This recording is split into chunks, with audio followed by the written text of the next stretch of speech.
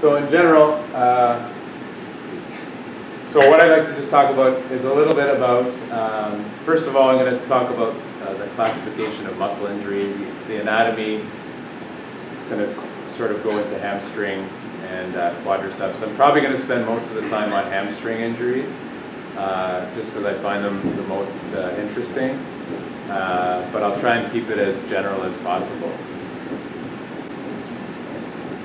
So when we talk about classification of muscle injuries, uh, what what kind of like for example, what Alex, what do you what do you use to classify injuries? Uh, Muscle injuries, not ligaments. this is 2004 society the British classification system like MRI, But I mean, you just like if Oh, you see a guy person yeah. in your office, like grade one, grade two.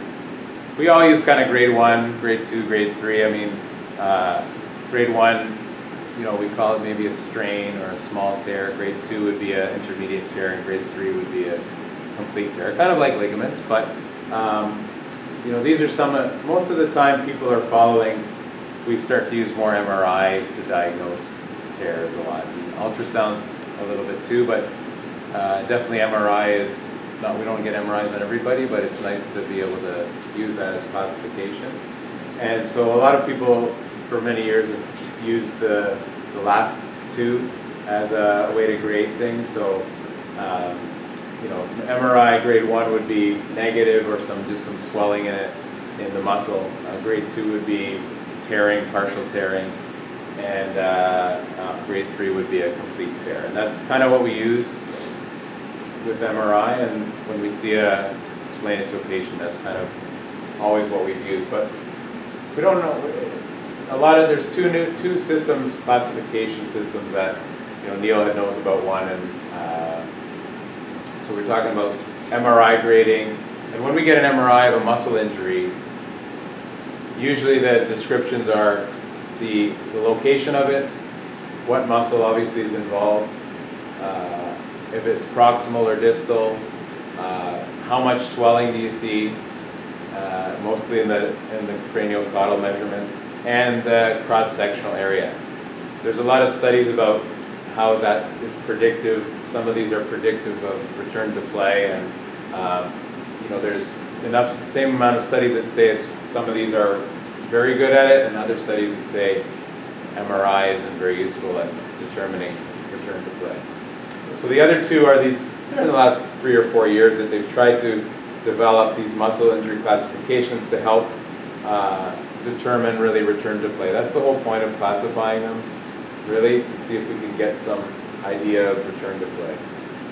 And that's really what people are asking us. They they don't really care if it's a grade one, two, or three. They're going to want to know, okay, well, when can I go back? And so we talk about the first one. So this was, like you mentioned, it, I don't think it's only it's not that old. It's it's, only a few years old. Uh, and it was mostly by the, the British Athletic Muscle Injury Classification, which is more uh, track and field. And so the five grades they they determined was zero would be MRI negative, just general soreness or neurogenic cause. Uh, grade one would be small muscle injuries, no tendon involvement, and they tried to correlate it with some symptoms you would expect, which would be at 24 hours they'd have a normal range of motion, strength, but pain with contraction. Uh, grade two would be moderate muscle injuries, possible tendon involvement, specifically the myotendinous junction, uh, and that would be present as pain during sport requiring removal, and at 24 hours they'd have pain, weakness, and limited range of motion. And then the grade three would be extensive muscle tearing, possible partial tendon disruption, and this would be if they felt they could fall down during play. Uh, and they'd obviously have a more extreme presentation, maybe you know with a limp or on crutches, and a lot more pain and weakness. And then finally, they, they use four as a complete disruption, uh, which is obvious to palpation. You can feel it, you can probably see it, and uh, especially in the rectus femoris, sometimes see these gaps a lot easier than in hamstrings. And uh, it also could be less painful just because there's nothing holding it. Uh, and then, so they classified it in zero to four, and then they subclassify it A, B, or C. So A would be the periphery of the muscle, B would be within the muscle belly, and the MTJ is the most common, and then C would be extending into the tendon. So it's much more detailed than we're used to seeing. Um, I actually uh, spoke to the radiologist Bob Bleakney the other day about this, and he said we can do that if you want. like no question. Okay. If you want us to start doing that on the MRIs, no problem. So it's interesting. This is actually in the. In, uh, there's nothing wrong with this picture. That was how the. It was so foggy and misty in one of their games. Um, and again, this is just a diagram of what A, B, and C is. So normal tissue A, you can see the periphery of the muscle. B, more towards the muscle tendon area, and C within the tendon. And again, this is a lot more detailed. They describe in much more detail than I explained it, but they're, they're talking about more of MRI findings about those things that I mentioned, the percentage of damage, the cross-sectional area of edema, um, and the length of edema, that kind of thing. So uh, you can read that on your own time. And in general, I don't know how many people have seen MRIs of muscle. And they, they comment on the, the, the edema comment about how much edema is in the muscle um, as a predictor. To me, to measure edema doesn't, to me it doesn't make a lot of sense because it's just a result of the injury. I don't know, I don't know what you think about that, but to me, edema is just a result of the injury. It doesn't tell me how bad the injury is in general, think. I mean, if you have a little bit of edema versus a lot, okay, but um, I'm not sure that is good and a good indicator. I don't know if you have any I, I think it's I think it's probably too early to tell. I think the, the more we're using these more uh, the more advanced imaging like MRI, uh, the edema might not mean very much if we're you know uh, the peripheral tissue, and it may mean more if we're talking about injury. Right, yeah, But so- I, I don't I don't know at this point. be know, just, we don't know, so it's, it's reported on, it's described, but, you know, you'd like to know this, the quality of the muscle injury if there is any. uh, And the edema often includes, or, Does it also matter like when you get the imaging, like you get it sooner than, have more edema than if you get it so, so what do you think is an important time frame that? There's a good article about that. So when do you think it's, when do you think it will change? You know, day one, zero, day one versus day what? Like in what range would, would it change maybe the diagnosis?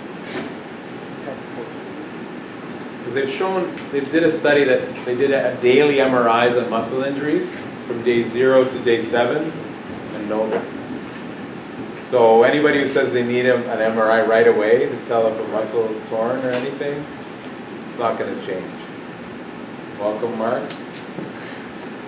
Uh, So these are just a few MRI pictures from the, about each, each grade. So one B would be, as mentioned, it would be no, some, a little bit of edema, so you see just a, a trace of edema around the periphery of the muscle.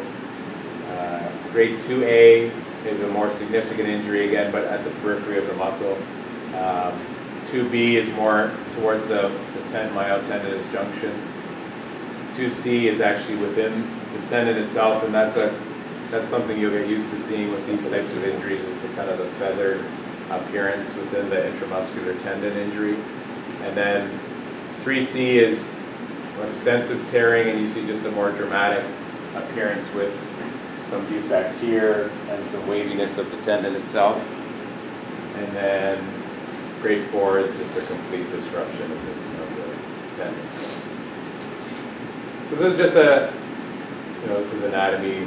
Um, They're, they're just showing different levels of what we, they'd call a moderate tear, which would be damage to the secondary bundle.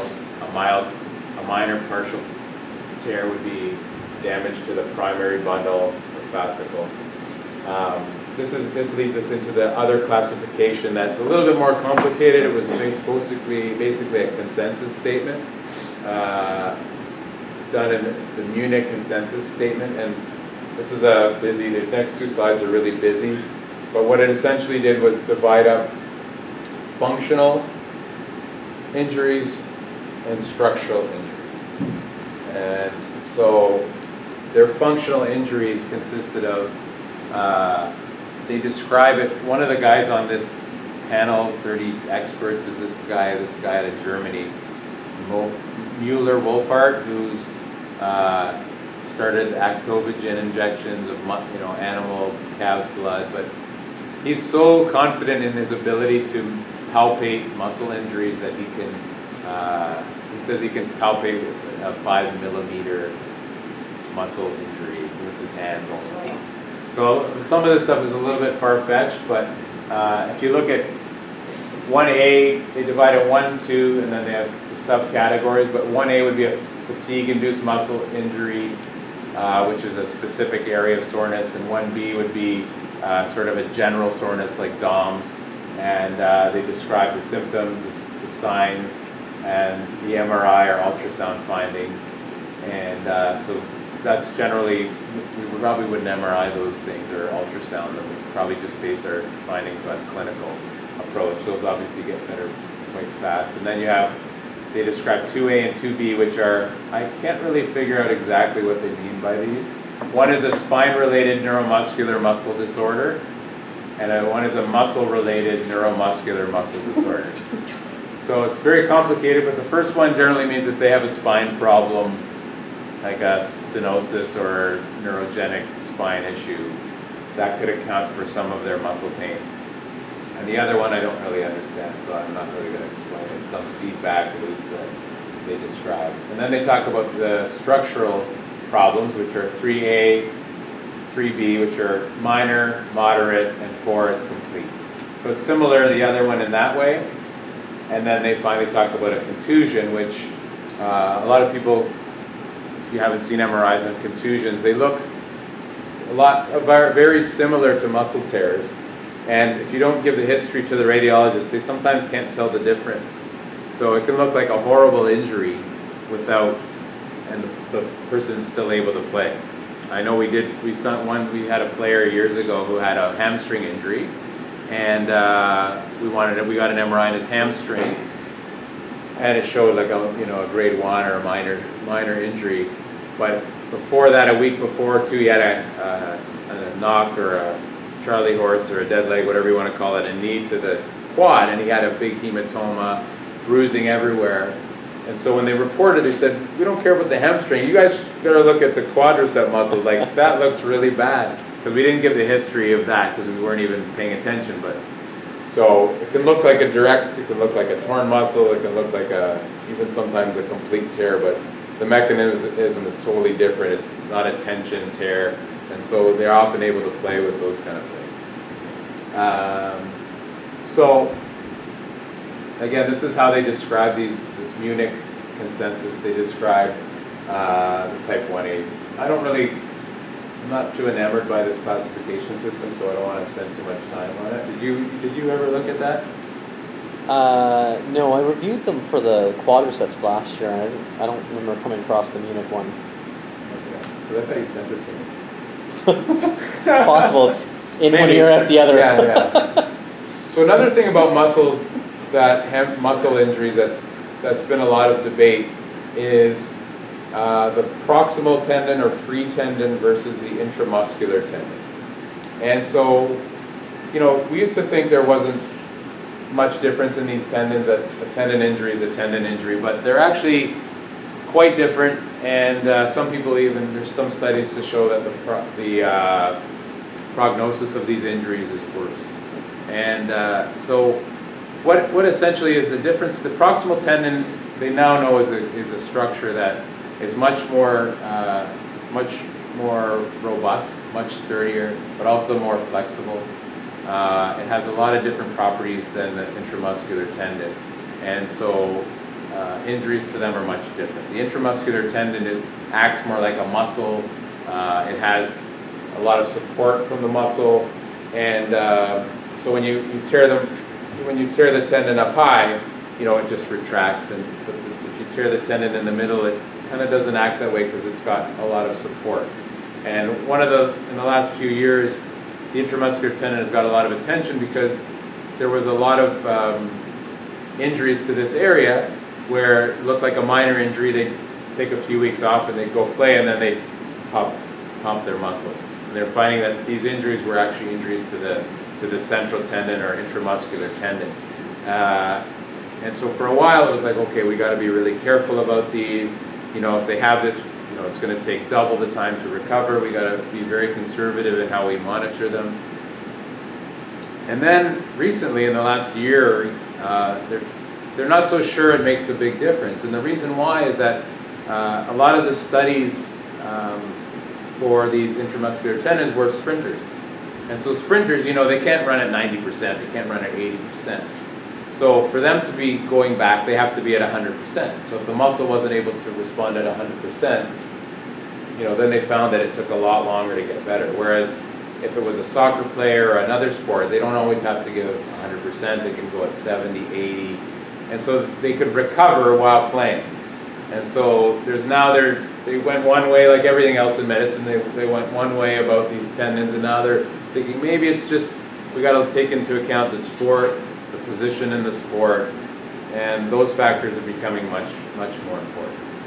So that's, that's a little bit of information about that. Uh, so then we're going to talk a little bit about hamstring injuries. So the main, the main, two main hamstring injuries that we see are the biceps femoris and the semitendinosus. Those are really the, the main differences, semitendinosus, semimembranosus. And for those of you who don't know, uh, there's a, this Carl Askling is a, a Swiss uh, researcher who's done a ton of work on hamstrings, and most of the, the quality research has come from him.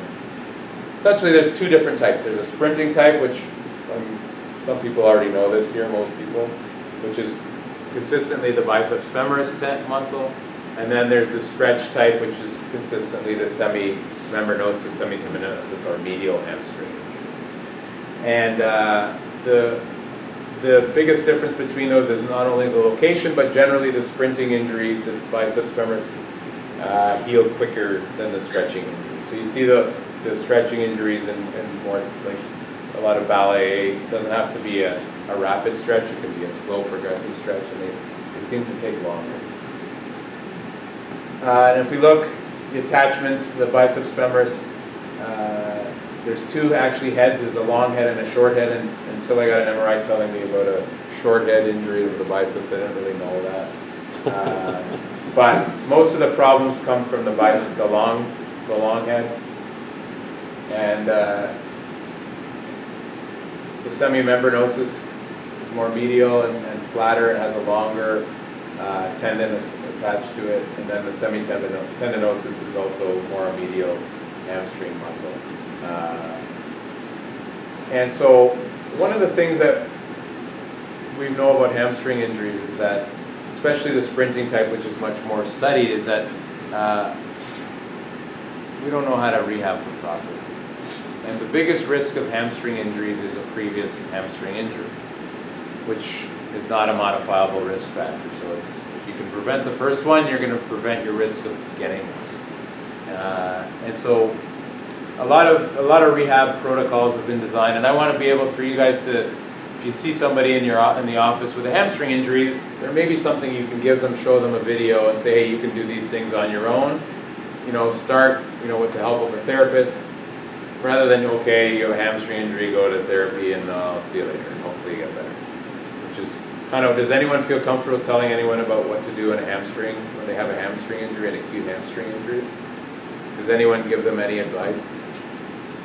Like you just say, don't stretch it, don't uh, just take it easy, right? So always, I've always wanted to be able to at least tell them something so you feel like you're doing something rather than just diagnosing. Uh, so I'm going to go through this study. This was a, a very good study. It's it's not the be-all, end-all, but it's it's a good start. So what they what Askling did was did a prospective trial on male and female professional football players with MRI confirmed hamstring injuries. He divided them up into an L protocol, which was a lengthening loading protocol, versus a uh, conservative typical protocol at the time. The endpoint was return to play, and so some of the important things was they were they were examined within two days of the injury. They had an MRI within five days of the injury, and after they cleared all the normal clinical examinations, they must they had to pass this Askling H test. And I don't have a video of it, but I'll show you that, what the Askling H test is after uh, I show you these some of these slides. So this is this is part of the L protocol. And uh, this is called the extender. So obviously this is very easy for someone to do. And, and the, with all these exercises, there's gonna be six I'm gonna show you, three for each protocol. None of them are to, to the point of pain. So they have to be pain-free, okay?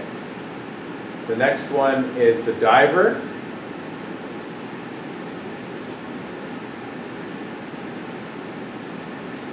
Okay?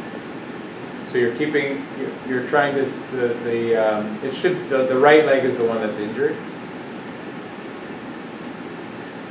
So you're, it's, it's all about eccentrics. And they're really easy, simple exercises to do. And then the third, sorry, the third one is uh, the glider. This is a bit more difficult. You need a little bit of equipment. But what you're doing is you're, you're, it's the right leg again that you're testing and you're going down as low as you can without pain. So this guy's obviously fairly advanced in his rehab. Because normally at the beginning, you're not going to be able to do. So they started at five days, right after the MRI, they started these exercises. Sorry, these are. So you're, so you're, stretching, stretching type of injury, that makes sense, right? What type of injury? Any type of these injury? are, these are, these, no, any type. Okay. all comers, sprinting or stretching, but what he's doing is that with the, with the, with the, the other leg, uh, the left leg is, once he's there, then he, he's, the right leg he's not using anymore. Once he gets to the bottom, he's pulling up. You're not doing any concentric strengthening there. Okay, so he's using his arms and the left leg to pull up. The right leg isn't doing anything on the way up. It's just working on the way down. So that's the three from the L protocol, which is the eccentric protocol. And this is the, uh, sorry, this is the conservative, the C protocol. Uh, this is a different person, different injury, as you can tell. They didn't do any kind of transposition or transgender. So it's literally just a, a stretch, and they're contracting a little bit with the stretch, and then you'll see that each time she goes a bit lower. And that's pretty, that's a basic exercise, which used to be a standard for hamstring. The next one is a uh, hamstring extension.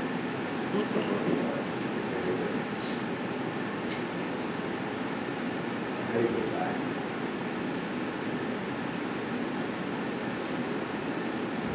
You can also use the, probably use the keyboard as well. Will it work? The I don't know, it doesn't look like it's a video this one. It should be. Anyway, so it's, it's like this. You know, you're just doing this. Let me get my arms right. Like that. So so she's pulling, pulling, pulling the Yeah, cable so behind she's doing her. hip extension, she's pulling the cable, Okay. okay?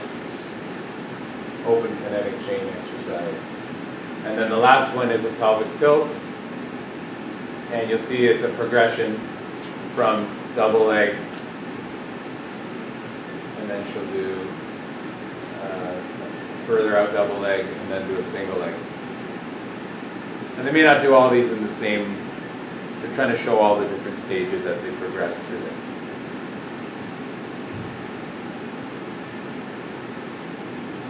Okay, so you get the idea. Now the data, just in general, showed a significant difference for the L protocol. Uh, the sprinting injuries, as I mentioned, were to play faster. Uh, the proximal free tendon injuries took longer to heal. And at that time, they, they, the MRI findings using edema length, the proximal lesion in terms of its attachment to the ischial tuberosity, increased return to play time. So what they essentially did was they would get them, they would do evaluations every week, clinical evaluations, standard testing of resistant testing, and when they passed everything, they did this Askling test. So the Askling test is, uh, anyone want to lie on this table here? Um, I, I don't have a video, but, uh, come on, uh, not you, you're a new dad, I don't want you to hurt yourself. You got, you got to breastfeed and. Okay, so just lie on the table here, Like on your back. And it's based on a, on a self, self-interpretation, so what, if- they have straps and everything, but what they would strap down the uninjured leg, okay? And, and what they would tell them to do is do a straight leg raise as fast as they can and as comfortable as they can. And, you know, go as hard as you can, right? so you do that three times in a row. And you do it pretty as forcefully as you can. And then you would rate your pain. And if you did it as fast as hard as you can, and you didn't have pain, that you passed. Okay? So, because you, what you'll see when people have hamstring injuries, they won't they won't do that. They'll be very tentative and apprehensive. And so what would happen is if they failed the test, they would go back, rehab for another week, and come back and do the test again. And that happened on quite a few people in the study. I think something like 40% of them. When they passed all the clinical examinations, at the, the routine clinical examinations, and then they did that test, that failed them a number of times. So it's really easy to do. Um, it's a visual, they use the 0 to 100 scale. And some, there are some fancy gadgets that they have now which measure velocity. Uh, they attach them to the side of the leg, and, and, so they can they can compare it to baseline what they were uh, preseason and things like that for for even better accuracy. So based on that, they started doing a lot of eccentric strengthening. And uh, what are, does anyone know of any kind of eccentric strengthening uh, preventative things that you can do with with people, with teams, with athletes? Is there any exercise that you've heard of? It's really one exercise that if you've heard of it, you'll know it. If you haven't, Nordic hamstring. right. So the Nordic hamstring. Does every who doesn't know what a Nordic hamstring is? You know? Okay. Uh, so a Nordic hamstring is you go on your knees, someone holds your ankles, and you go forward, and when you can't hold it anymore, you just fall. And there are, there are a number of studies that show that preseason and, and soccer players and uh, other athletes that if you get on a Nordic hamstring program, you're going to uh, reduce the risk of hamstring injuries significantly. But surprisingly, a lot of teams don't do it because there's there's a lot of therapists that trainers that think they they have a better idea of how to rehab people. Um, so this is a, a British Journal of Sport Medicine comparing. So they had two different exercises. This is a nice schema of a, of a little article that was done. Uh, they had two, so this is the Nordic. So they divided them up into three different groups. One was doing nothing, uh, regular activity. One was doing this hip extension exercise, which is more of a, puts the hip into more extension than, than the Nordic hamstring. It never goes past neutral here, whereas this one, you can see, does go beyond that. And what they found was that they both worked, uh, and they helped increase eccentric knee flexor strength. Uh, but they they work different muscles. So this this because of the added they think because of the added hip extension, it isolated more of the long head of the biceps, which is really the one that we think is responsible for the sprinting injuries. Whereas the Nordic hamstring did more of the semi, I think semi semitendinosus and the short head of the bicep. So it was an interesting study. It tells us that they both work, but maybe they, they preferentially isolate one muscle versus another, and maybe that, that will have some indication about which one is better for what sport, or should you do both.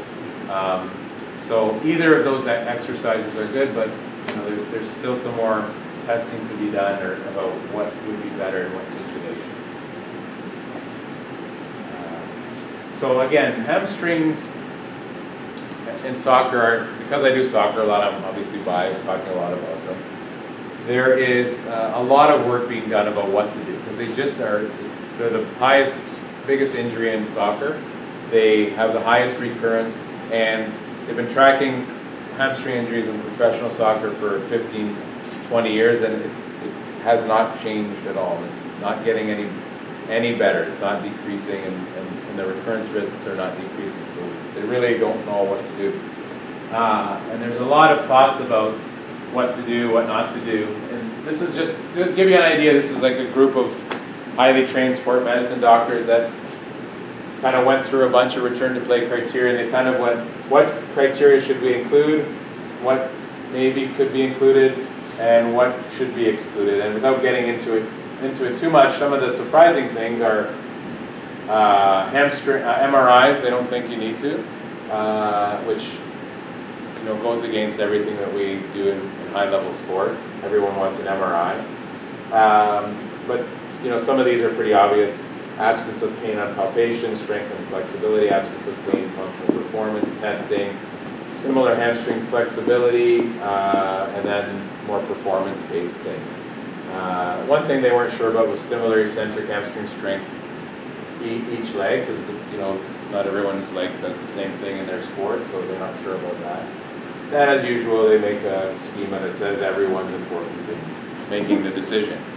Uh, So it's just, again, these are things that, when you get so specific, something as specific as a hamstring injury, there's so much that goes into figuring out what's wrong, and nobody really has a good idea of what to do about them. Uh, And again, this is just, again, part of this, there's, you know, you could pick any injury in the middle and, you know, cardiovascular health, emotional health, hamstring, muscular, muscle architecture. But it- it's interesting because, you know, it, it shows you that for a simple muscle injury, this is all the things that people are thinking about, about what to do about this problem. Can- Can you, Uh, can you go back, sorry, Ira, before you go on, no, not the previous, the one, this one here. yeah, So what, what about, so, okay, so Yeah. they're not, they're saying we might not need to do MRI. What about like something like Biodex in terms of, to, Yeah, to so- measure that difference? So like similar concentric isometric hamstring strength. Okay. Again, these are, this is like a expert, it's not as much evidence base, this is just a group of experts on the topic talking about Okay. it. Uh, they're, they're, again, with- they're. Oh, sorry, it's, it's flexibility, similar hamstring flexibility. Right, right, yeah, As opposed to the strength. Yeah. Okay. And so, one of the other things about the, for three, so there's a few take-home messages about hamstrings that are really important, uh, and you could apply it to to other muscles as well, but specifically hamstrings. One is the eccentrics, which we talked about.